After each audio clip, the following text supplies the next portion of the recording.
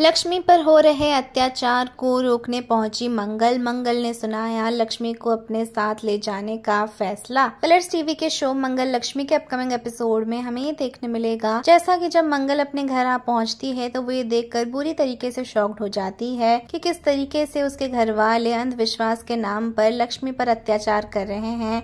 और ये सब देख कर लक्ष्मी को बचाने सामने आती है मंगल, जहाँ पर लक्ष्मी पर हो रहे अत्याचार को मंगल बंद करवाती है। और यहाँ पर पर लक्ष्मी की देखभाल करती हुई मंगल नज़र आने वाली है और यहाँ पर अपने परिवार पर भी बुरी तरीके से गुस्सा होकर मंगल सवाल उठाती है कि आखिरकार उसके इतने बार समझाने के बावजूद भी लक्ष्मी के संग पर आए जैसे क्यों पेश आते हैं उसके घर वाले यहाँ पर लक्ष्मी की हालत भी काफ़ी ज़्यादा खराब हो जाती है। इतना सारा गलत अत्याचार सहकर जहाँ पर लक्ष्मी अपने कमरे में कांपती हुई भी नज़र आती है और ऐसे में मंगल देती है लक्ष्मी को सहारा, लेकिन परिवार वाले और लक्ष्मी के सामने मंगल अपना बड़ा फैसला सुना देती है है और सबको ये बता देती है कि अब वो लक्ष्मी को बिल्कुल भी अकेला नहीं छोड़ेगी, जिसके चलते अपने ससुराल में लक्ष्मी को जगह देने की फैसला सुनाती है मंगल। और मंगल की ऐसी बातों को सुनकर लक्ष्मी भी हो जाती है बुरी तरीके से शौक। वेल, ऐसे में क्या होने वाला है? आगे जानने के लिए जुड़े रहे हमारे साथ और हमारे चैनल को सब्सक्राइब करना ना भूलें।